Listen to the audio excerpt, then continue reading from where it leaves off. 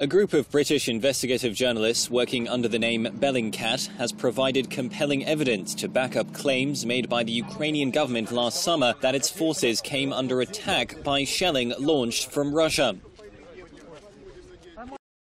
The team used satellite images from Google Earth to locate the sites in Ukraine which came under attack. They were then able to trace the trajectory of that shelling back to its likely point of origin. In all but one case, they found that it came from Russia.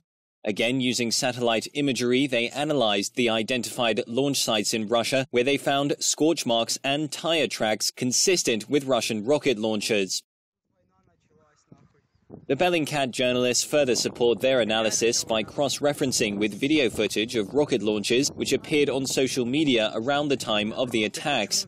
In a number of cases, they were able to pinpoint the location inside Russia where videos such as these were filmed. They found a number of cases where the locations matched up with the rocket launch sites they identified through satellite imagery. The attacks investigated by the Bellingcat team came in the summer of 2014 as Ukrainian forces began to gain the upper hand on the Russian-backed militants in East Ukraine.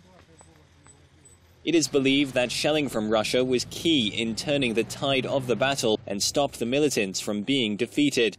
The insurgency has now been raging for some 10 months. A ceasefire announced last Sunday has yet to fully take hold, with the two sides accusing each other of violations.